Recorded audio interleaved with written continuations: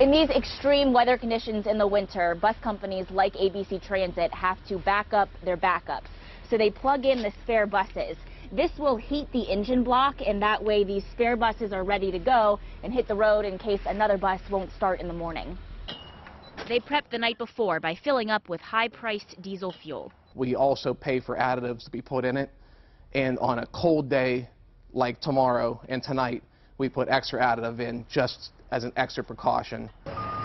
Aaron Silverman with ABC Transit says those additives keep the fuel from gelling or waxing in the cold. But in this weather, with wind chills below zero, it's not foolproof.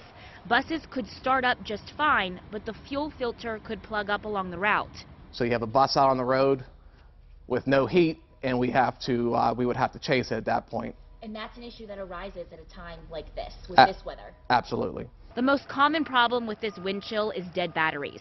This is the battery box on the bus, and when a bus doesn't start, what we would have to do is open up the battery box, and we have a start all, which is a motorized start aid that we attach to the bus that'll charge the batteries. These issues are why the decision for a delay or cancellation is a joint effort. Silverman gets on the phone with superintendents as early as 4 a.m., and that's when his crews begin their shift to make sure these buses can safely start on routes. Reporting in Etna, I'm Kelly Brennan, Pittsburgh's Action News 4.